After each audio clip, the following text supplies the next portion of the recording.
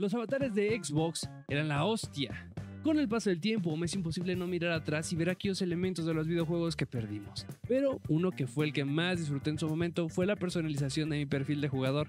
Y dirán, ¿cómo la personalización te puede entretener más que algún título en particular? Y bueno, para eso tenemos que irnos directamente a donde esto creo impactó de manera bastante positiva la personalización de avatares en la Xbox 360. Una consola que a pesar de que no la menciono mucho fue parte importante de mi acercamiento a los videojuegos durante la secundaria, porque joyas como Alan Wake, GTA 4, los Call of Duty Black Ops, Halo Reach, son joyas que en estos tiempos varios reconocen como pilares que ayudaron a Xbox a ser quienes son actualmente, menos el Kinect, por supuesto.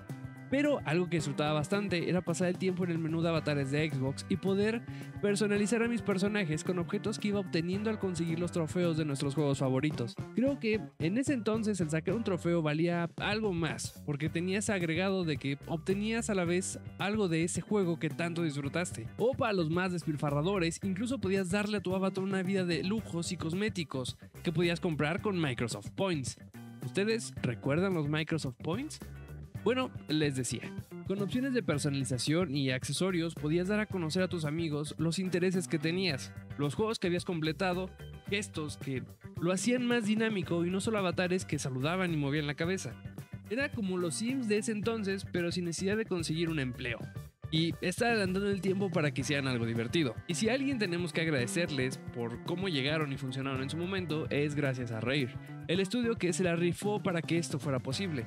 Ya saben, los mismos que trabajaron en Banjo-Kazooie, Battletoads y Conker's Bad Fur Day. Los avatares daban todo un extra en cuanto a agregar amigos se refería, ya que estos aparecían junto a ti en el apartado, a la vez que podías hacer actividades con ellos, como ver Netflix juntos, o dejen ustedes eso, competir en diferentes juegos que llevaban a sus avatares a los mandos. Por mencionar algunos, les puedo decir el Kinect Adventure, que fue de lo mejorcito, ya que estamos mencionando el Kinect también. O cómo olvidar al Doritos Crash Course, este sí que era una joya, pero yo creo que ese título está para darle su propio speedrun en otra ocasión. Es verdad que también agregan los iconos de perfil como toda cuenta que se creará para alguna plataforma, pero es que iniciar tu Xbox 360 por primera vez para poder crear y personalizar a tu avatar, agregar amigos y poder usar estos avatares para jugar, era algo que le daba mucho valor a tener en cuenta en la Xbox, que Nintendo también tiene lo suyo, que se han mantenido con el paso de los años. Pero la verdad yo nunca tuve uno, así que si empiezo a hablar de ellos solo estaría haciendo comentarios al aire con pura investigación, más que de lo que haya podido disfrutar de ellos en su momento.